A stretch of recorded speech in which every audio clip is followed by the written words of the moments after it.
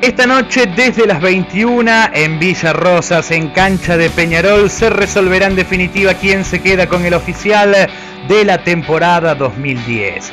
Peña recibirá al Deportivo Libertad de Sunchales, dos equipos realmente muy parejos. Y como prueba de ello repasamos imágenes de lo que sucedió en el apertura con el triunfo en aquella ocasión del equipo que dirigía Javier Bercero, dos tantos contra cero con ese gol de Mauro Sánchez de cabeza y este otro del brujo Mauro Villalba de penal, que evidentemente el 10 de Peñarol tiene la fórmula de convertirle mediante esa vía a Raminelli.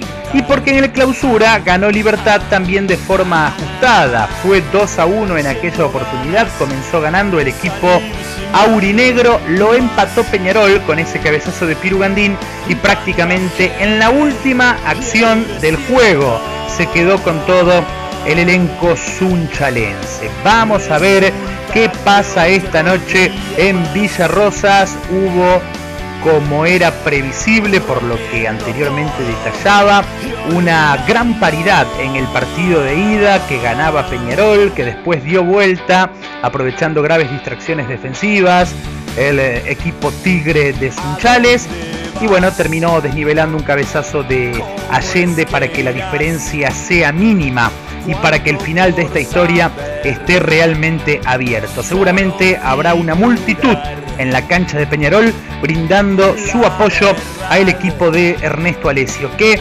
lógicamente desea con más fervor quedarse con el título. ¿Por qué? Porque Libertad está en otra cosa, participa en el Argentino A. Para Peñarol, la Liga Rafaelina de Fútbol es lo único que existe y tras eh, consagrarse en el apertura, alcanzar el torneo oficial sería un sueño hecho realidad. Si hay diferencia de un gol en favor de Peñarol, esto se definirá por penales sin alargue. Esta noche sabremos quién festeja, si Peñarol o Libertad de Sunchales.